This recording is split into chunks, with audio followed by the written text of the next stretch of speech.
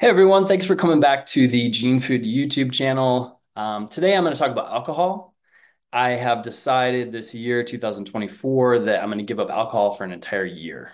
Now, why would I do something that sounds you know, a little crazy? I mean, I love to have a glass of wine. I love to have cocktail, beer with a football game.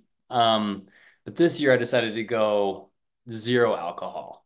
And I did that after dusting off some of the research that we use at Gene Food to score customers into different diet types uh, based on alcohol metabolism.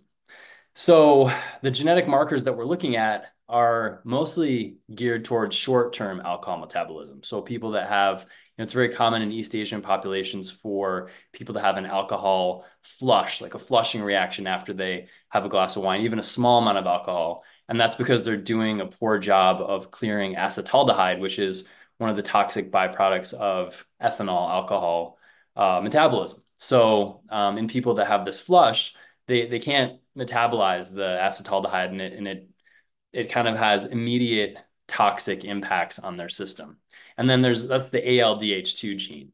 And then for the ADH1 uh, gene, there are SNPs in that region where um, the conversion of alcohol ethanol into acetaldehyde is is much faster. So your your acetaldehyde um, uh, levels will rise much faster in somebody that has normal, quote unquote, normal short term alcohol metabolism. Well, in, in, in my case, I carry neither of those SNPs. I actually have excellent short-term alcohol metabolism in the short term, meaning my acetaldehyde isn't shooting sky high after I drink a glass of wine. And I'm also able to do a better job of clearing the acetaldehyde uh, once it has been uh, metabolized in, in my system. So I'm doing a good job in the short term. But one of the things that we struggle with at Gene Food is identifying the risk alleles for some of these SNPs because the risk alleles in most genetic tests are geared towards this short-term problem of poor alcohol metabolism on the night you're drinking, right? And however, if you look at some of the studies and you start looking at the impact of being of having a great alcohol tolerance and being able to, to, to metabolize alcohol really well, you see in those populations an increased risk for several site-specific cancers. And, um, and, and I think if you're going to posit a, a reason, I'm, I'm not sure that it's that it's mechanistic as much as it is you are not your body is not giving you a feedback loop of negativity when you drink alcohol. You know, when when you start looking at the research on alcoholism and whether um, alcoholism is genetic, it turns out that based on the the the GWAS studies, the genome-wide association studies, the best and most reliable markers that impact on risk for alcoholism are actually people who carry these SNPs that cause them to have poor short-term metabolism of ethanol are much, much, much, much, much, much less likely to become alcoholics, to become alcohol dependent. And the reason for that is drinking is an unpleasant experience for them. So when they drink, they have this, their body is you could argue that these people have inaccurate, a much more accurate feedback loop from their body. Their body is saying, whoa, you just drank a toxin. Don't do that. Right. Those of us like myself who have better alcohol metabolism in the short term don't get that immediate feedback. For us, drinking is much more pleasant.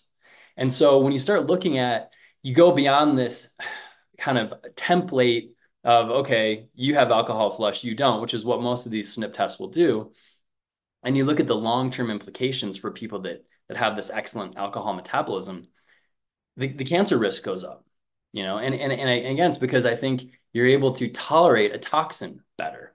Acetaldehyde, which everyone's body converts ethanol into acetaldehyde enzym, enzymatically, is a group one carcinogen. I mean, it's listed, I mean, it's, it is a known carcinogen. And that is the impact of drinking alcohol is you are converting that ethanol into acetaldehyde. Now, does that mean you should never have a glass of wine or that you need to go orthorexic about it and freak out about it? No, like after this year of, of, of, of no drinking, I probably will continue having a glass of wine with dinners on occasion or on a special occasion. I love mezcal. It's not to be, it's not to be dogmatic about it. It's just to say, knowing where you sit is important. I think it's I think it's important for parents to know this. I think it's important for for uh, adults to know this for for their kids.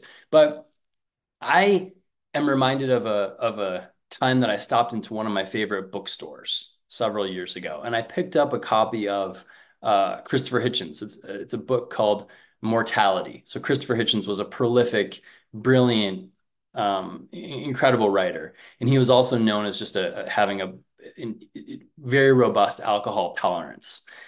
And he wrote a book. He developed esophageal cancer, and he developed a book. He wrote a book as he was dying about the experience of his own mortality and what it was like to feel death descending upon him.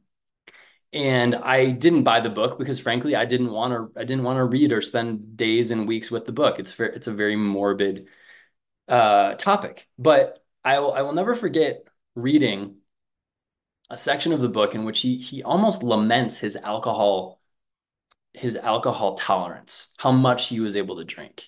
And he says something similar to what I've just relayed earlier here about people that have excellent short-term alcohol metabolism, which is he wishes his body had been more sensitive so it could have given him warnings prior to developing this terrible illness that, that he developed possibly because of a, a lot of drinking right and so it may, reflecting on on that and thinking about that in terms of the research for people that have excellent short-term alcohol metabolism who can handle their alcohol but have in many cases the SNPs associated with the short-term metabolism are also associated with long-term risk. I thought to myself, you know, um, drink, drinking is just not is just something that I want to be much more mindful of, and I want to use it in a celebratory fashion, not as not as a, a constant and, and sort of a, a, constant companion of the weekend, or it's just something I do. I have a beer, have a. I want to be much more mindful of my drinking. Um, so and it, to tie a bow on it, it's like you can look at this and you'd say, okay, yeah, well, well, these short-term errors in ethanol metabolism, where you're getting this acetaldehyde elevated or inability to clear it, that's the real problem. You could say that the real problem is actually when you do a better job of handling that acetaldehyde, because over time it will it will mask for your body the severity of the toxin that you're drinking uh, that is alcohol, and so you know, it was it was reflecting on that, thinking about wanting to be more focused with work and a little more dialed in and and, and just and just feel better and kind of take things to the next level with parenting and relationships. I decided, you know what? One year no alcohol, rooted in genetic research that tends to show that you think you have a robust alcohol metabolism and you do for that one night out, but over time, you know, over a long enough time horizon, your robust alcohol metabolism actually could be hurting you, not helping you.